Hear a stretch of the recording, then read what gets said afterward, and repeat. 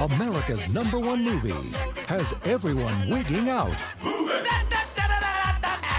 Kowalski, status report. The good news is Madagascar's number one. That's a number I can live with. DreamWorks Madagascar 3, rated PG.